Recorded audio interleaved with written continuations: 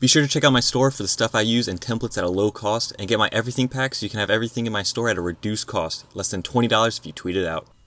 What's up guys, Qehzy here bringing you guys another tutorial, and today we're in After Effects again doing a logo or text reveal uh, tutorial. This is really simple. You can see I only use three layers here, and this is something that I use uh, frequently with clients for like in various ways uh, in animations and things. But I figured I'd show you guys since it's really simple, really easy to get down, and then from this you can create so much more. So basically, this is what I'm going to be showing you. It's pretty simple. Line comes down, reveals the text, and the text kind of goes away. Now you could, I do it so the line reveals the text, and then the text just comes down and disappears. You could of course have the line go back and make the text disappear again, but I thought I'd show you this as like a variation. But anyway, let's get right into it. So I'm going to create a new composition. I'm just going to use some default settings, 1920 by 1080. You can do whatever you want, really not that important. Uh, and mine's like 10 seconds long, and I'm just going to go ahead and shorten that up a little bit, just since I'm not going to be using all that. And the first thing we want to do is go to new layer and get a solid and just you can make this whatever um, actually no I don't want to do that come on. Cancel.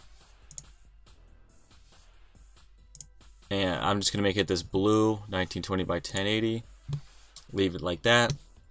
Then I'm gonna go and get the text tool here.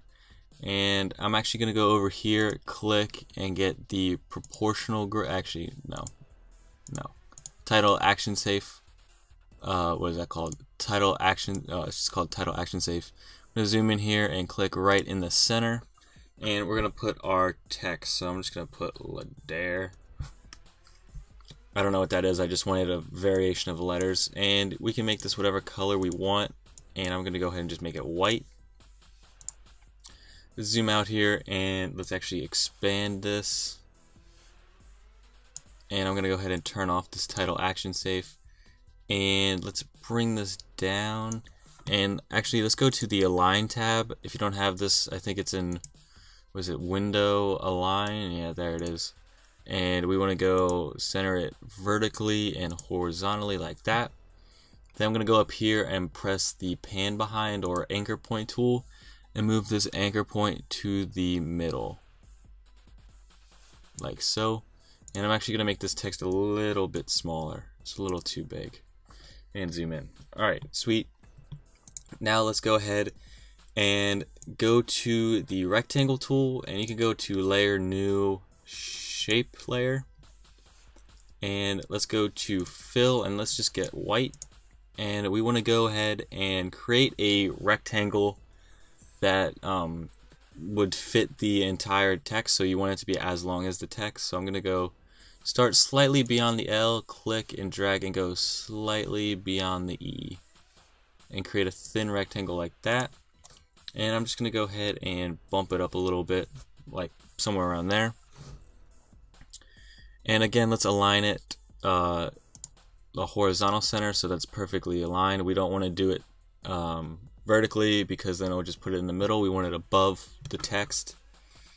And let's go to the anchor point again. And actually, is the anchor point already there? Oh, the anchor point's already there. That's good.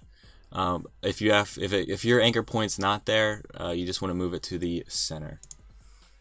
Um, now let's get this shape tool and let's actually open up to the transform and go to scale. So let me zoom out here and let's go forward a little bit. I'm going to go to like 20 frames and click the scale stopwatch and I'm going to click the chain so it's no longer linked.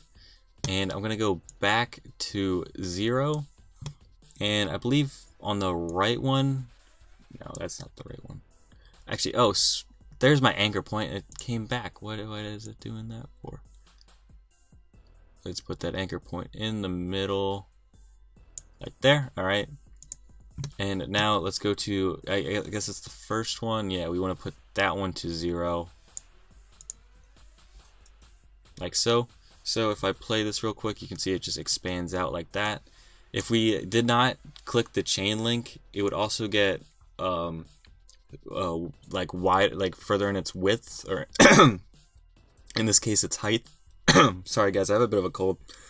Um, but you can see this just goes from nothing and stretches out rather than stretching out and up north-south. Um, and we're going to select both of those points real quick. Right click, keyframe assist, easy ease. You can also uh, just press F9 on the keyboard. Go here to the graph editor and click that. Go to the second point, select it, and go to the, the anchor point and kind of bring it inwards like so. So you get something like that that kind of uh, starts out a little quicker and then slows down as it expands outward. And let's go to position now. Let's go a little beyond that. So if we play this, boom, right there, we want to click the position. And let's go forward again a little more. Maybe like right there. Go to position and uh, I don't know why I selected all these. I just really wanted position selected. Alright, and let's bring the position down so it's fully below our text like so. So it should look something like this right now.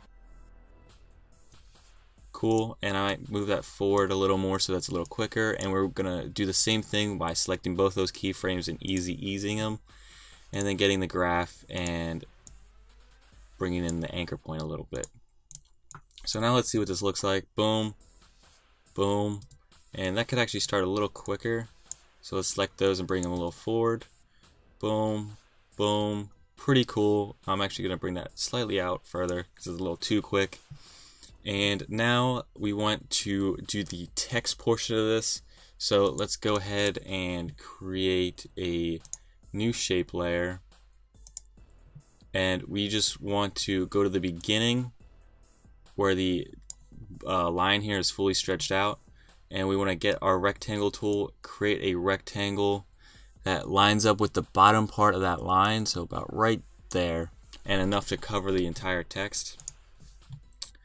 And we want to bring that down below the text layer and go to Track Matte. If you don't have Track Matte, you want to toggle switches and modes.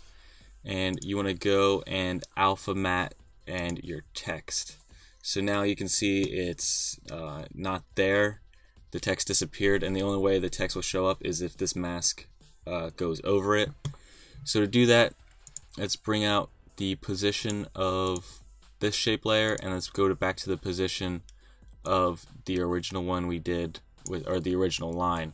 So right here is where it starts so let's go ahead and press position there and then this is where it ends so we can go ahead and bring the position down with it and that would be this guy. And line it up with the bottom one again. And then, oops, let's get the dock out of there. There we go. Sorry about that. And then let's select both of these and again, easy ease. And let's actually pull up, select these guys and select the original points from the line and let's go to the graph so we can see both these graphs select the one we haven't edited yet, which is the one that's uh, symmetrical, and get this point and bring it over to line it up with the other graph like so. As close as you can, so like that, that works. And then if we go ahead and play it, you can see boom, drops down, text comes out. And then you can obviously reverse that process and have it go the other way.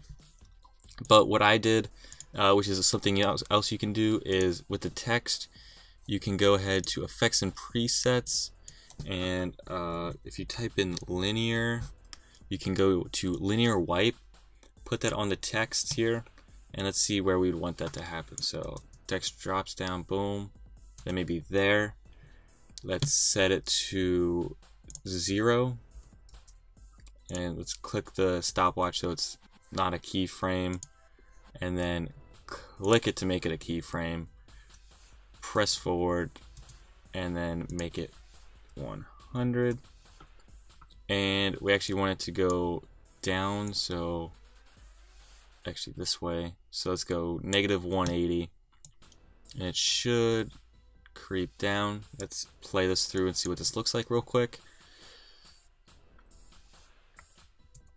A little too fast, so we could probably bring up this uh, this point, bring it forward a little bit, and let's select both of these guys, right click, keyframe assistant, easy ease. You can also do the graph here, which I'm to do just a little bit, and let's see what this looks like. Still a little too fast, maybe bring it forward.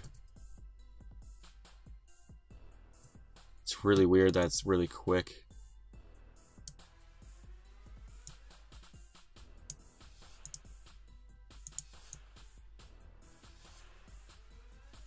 Alright, let's go to 80% here. And when does it start? What percentage? Like 45, so let's do 45 here. For whatever reason, doesn't really work 0 to 100, which is pretty weird. Let's play this. Mm, never mind. We'll do 38, alright. Okay, that sort of works. We'll do with that. Uh, you guys get what I mean, though. Hopefully, I don't want to spend too much time on this. But then we just want to go back to the original shape layer, and when this guy comes down, we want to close this guy back up. So we want to check mark the scale, or keyframe the scale, and then bring it over a little bit and bring this down to zero. And again, we can select those, get the graph, and do the opposite of what we've been doing or do what we've been doing and do, play with that graph. So let's see what this looks like in full picture. Boom boom boom. Obviously that would need some cleanup better timing and stuff but hopefully you guys enjoyed this tutorial. Hopefully you learned something. Hopefully you can put this to use in whatever you're working on. Um, if this video gets 100 likes I'll put this file in the description for you guys to download be sure to subscribe for more tutorials. Follow me on Twitter at Qehzy, and I'll be be sure to check out my next videos, guys. I'll see you next time. Peace.